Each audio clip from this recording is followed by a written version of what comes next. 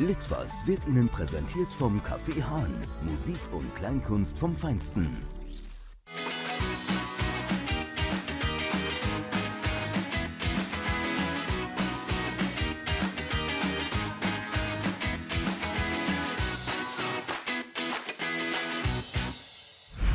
Die fünfte Jahreszeit geht endlich wieder los. Erlebe gemeinsam mit der Narrenzunft Gelbrot am Sonntag, den 4. Februar ab 16 Uhr in der Guten Stube von Koblenz, der Rhein-Mosel-Halle, ein unvergleichliches karnevalistisches Feuerwerk. Packt also Großeltern, Eltern, Freunde und Nachbarn ein und seid dabei, wenn es wieder heißt, Fasenacht erst Freude macht, wenn Gelbrot tanzt, singt und lacht. Vom 28. Januar bis zum 4. Februar verwandelt sich die CGM Arena wieder in eine Tennisarena der Extraklasse und präsentiert Deutschlands größtes Indoor-ATP-Tennisturnier aus Koblenz.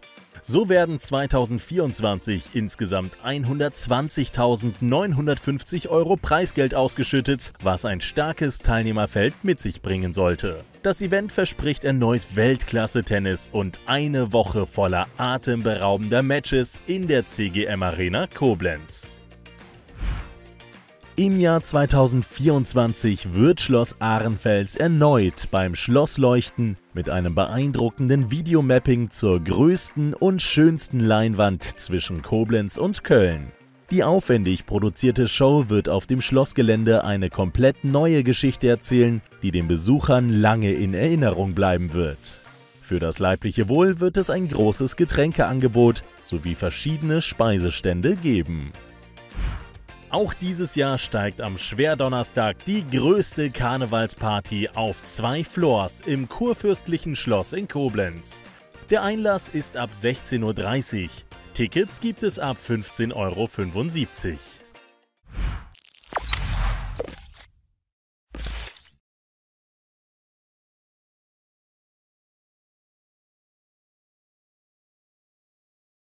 Wie sie unvermeidlich glücklich werden. Eine steile These, doch Manfred Lütz, Psychiater, Psychotherapeut und Bestsellerautor, belegt sie in einem höchst amüsanten, aber auch nachdenklichen kabarettistischen Vortrag.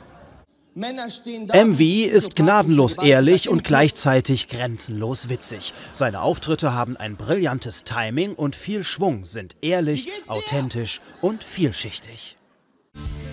Die einen nennen es Southern Rock, die anderen Bluesy Retro Rock.